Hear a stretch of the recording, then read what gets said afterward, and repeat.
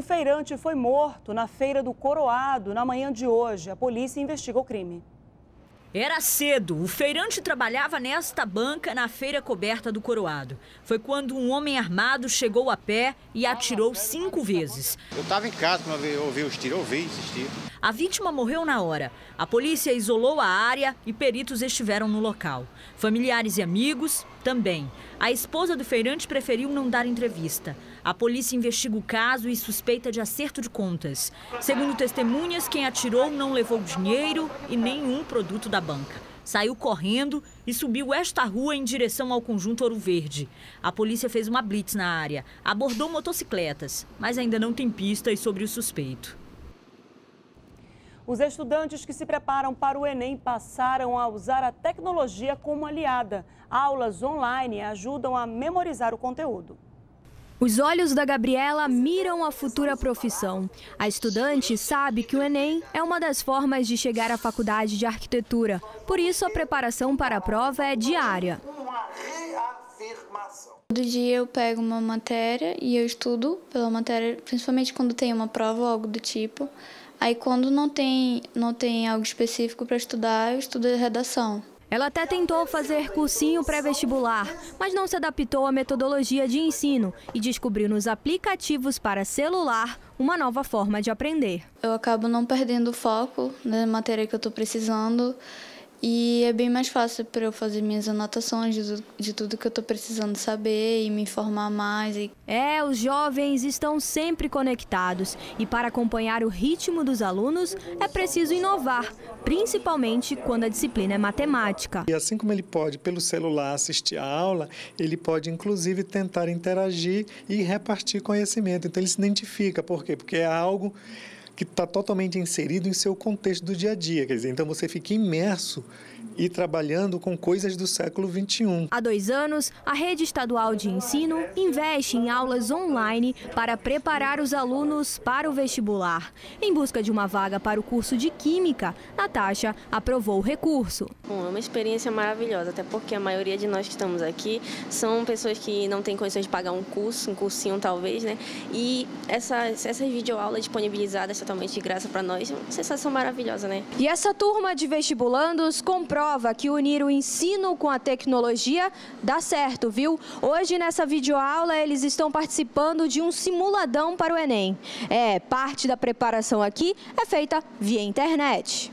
Há um mês do vestibular, Sara está focada em revisar os conteúdos. Mesmo que você estude só no colégio, não é necessariamente, porque só é cinco horas e é pouco. Então, se você estudar em casa, é muito melhor. O Enem deste ano acontece no dia 5 de novembro. E na segunda e terça-feiras, as agências bancárias da Caixa Econômica Federal vão abrir uma hora mais cedo. É porque em algumas cidades elas não reabriram ontem, como aconteceu com os outros bancos e os correntistas ficaram prejudicados. Aqui na capital, a abertura está prevista para as 8 horas da manhã. Um levantamento feito pelo Procon apontou que o preço da gasolina baixou na capital. O litro mais barato é vendido a R$ 3,45. Fila para abastecer.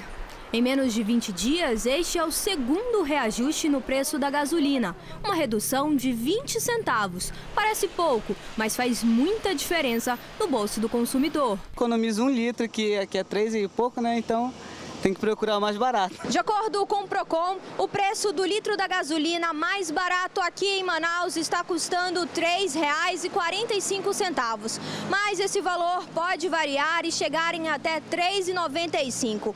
Esse valor, quem decide são os empresários. É por isso que varia tanto aqui na capital. Da mesma forma, acontece com as promoções. Quando um posto baixa, os outros se veem obrigados a diminuir também. Vira tipo uma guerra de preços que vão baixando a fim de captar novos clientes ou aumentar suas vendas. Na Zona Leste, a gasolina é vendida a R$ 3,45 o litro. Bom para o José Carlos, que abasteceu o carro hoje e economizou 50 reais.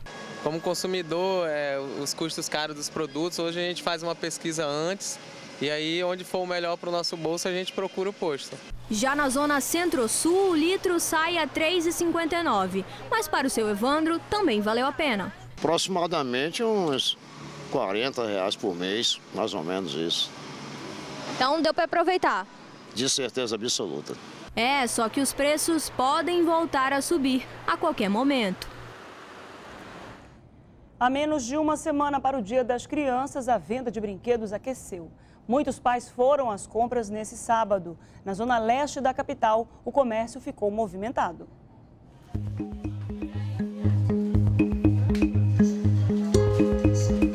Um mundo de cores, tipos, tamanhos e preços. As lojas de brinquedos apresentam variedades. Cauê e Carol ficaram perdidinhos mas conseguiram decidir qual presente levar. vou ganhar uma espada, única de samurai. O que, que você quer ganhar Dia das Crianças? Sapatinho. O quê? Sapatinho. Um sapatinho? Sapatinho.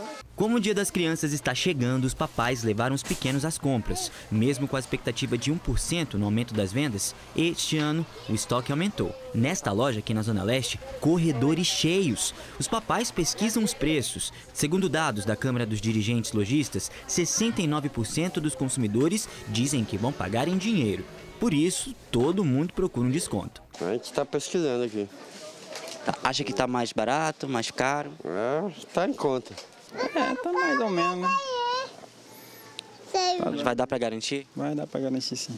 Essa mamãe procura, procura, mas ainda quer um preço mais em conta. Tá difícil, né? O preço tá um pouco alto, né? Bem salgadinho, Dia das Crianças. A gente vai tentar, né? Fazer alguma coisa aqui para ver se leva. Não pode ficar sem o presente, né? A pesquisa da Câmara dos Dirigentes Lojistas aponta que 21% dos papais e mamães devem comprar bonecos, 17% carrinhos e 22% vestuários. Mas a família está pensando no futuro dos pequenos. Por isso, os brinquedos educativos estão em alta neste Dia das Crianças. Muito brinquedo educativo. Os pais, eles têm pensado muito na educação dos seus filhos, né, dos nossos filhos.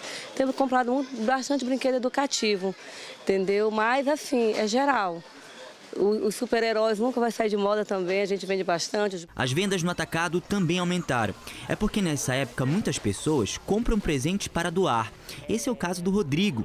O garoto deixou de pensar no presente para fazer o bem. Esse sacolão aí tá cheio de brinquedo que ele vai doar para as crianças carentes. A gente é para ajudar as crianças.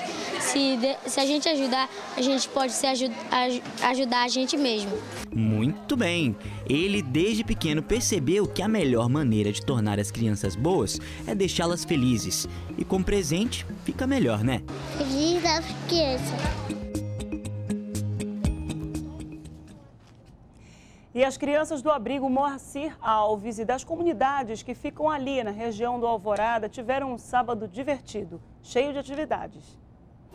Pinta daqui, pinta de lá e o mundo deles fica ainda mais colorido.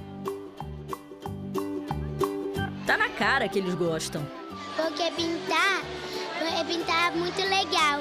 Desenho para colorir, giz de cera na mão, são ferramentas que estimulam e muito a criatividade. É tudo. Apenas isso eles entram no mundo deles e criam algo totalmente diferente. E a Natália tem orgulho de ser voluntária nesse projeto. Muito. É a melhor salve que eu já tive.